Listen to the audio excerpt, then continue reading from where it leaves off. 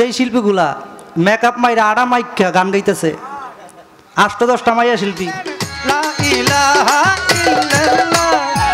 তোমরা নিতা নাম জানো মোহাম্মদ। ইউটিউবার আছে কাইটা কুইটা মনে করেন যে নিয়ে জেলমেল খাড়ায় শিল্পী করে ইংলিশ গান আবার এখন কিছু বাউল শিল্পী বার হয়েছে আট দশটা মাইয়া গান। সিরিয়ালে মাইয়া গান থাকে, এর নাম বলে একটার নাম ডিজে মুখ। ডিজে মুখ আসলে ডিজে শব্দের অর্থ কি তাই বুঝে না। দেখবেন তারা যারা ডিজে বল নাম দেয়, এগোর নাম কি জানেন? এগো ওয়ান পাশোনা ডিজে শব্দ যে, ডিজে পড়াশোনা করে এই বাইটা ইয়া করতেছে জের জের করতেছে।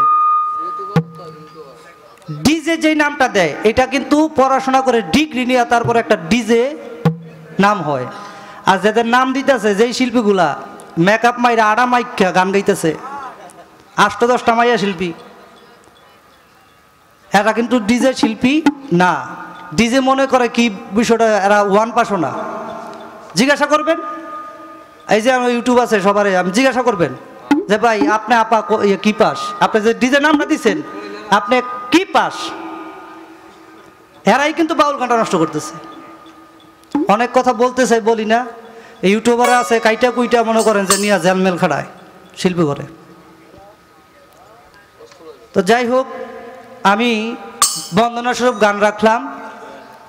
এখন যেই গানটা করব, যাকে সৃষ্টি না করলে এই আঠারো হাজার মাকলুকাত, আমি আপনি চন্দ্র, সূর্য, গ্রহ, নক্ষত্র, কোনো কিছু সৃষ্টি করতেন না আল্লাপাক সেই নবীজের একটি নাদ আপনাদের মাঝে রাখব। সব গান খারাপ হইতে পারে আমার দয়াল নবীর গান কখনো খারাপ হতে পারে না। কথা সত্য। আমার আল্লাহ বলছে কোনো ধর্মীয় অনুষ্ঠানে আমার বন্ধু আমার হাবিব আমার দোস্ত ওনার নামে যদি গুণকীর্তন করা না হয় আমি আল্লাহ অনুষ্ঠান গ্রহণ করি না।